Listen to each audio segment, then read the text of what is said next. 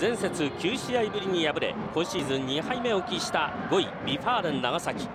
昨シーズン1分け1敗と勝てなかった12位水戸ホーリーホックを迎えての一戦です。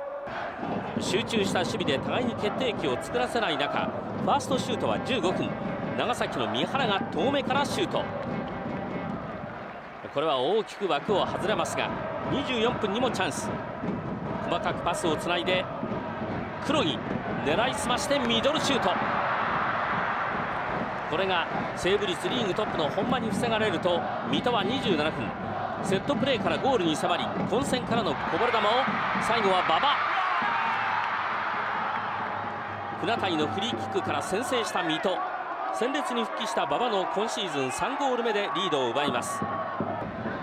失点がリーグ2番目に少ない水戸の守備に苦しむ長崎は43分。イ・デホンがフィニッシュまで持っていきますが決められず。1点ビハインドで後半へ。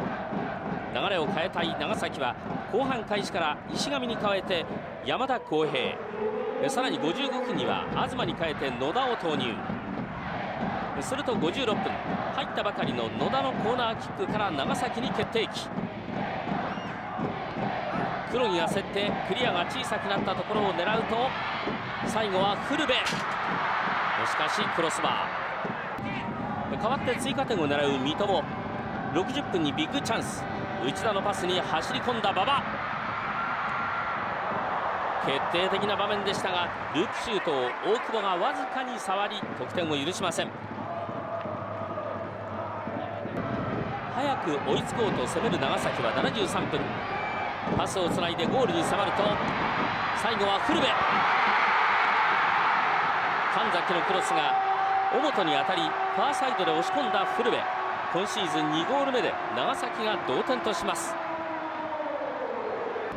追いつかれた水戸は後半アディショナルタイム。途中出場の鈴木孝之がドリブルで仕掛けてラストパスを広瀬。しかし大久保に阻まれ試合は結局1対1の引き分け。これで長崎は4試合勝利なし。水戸は3試合勝利なしとなっています。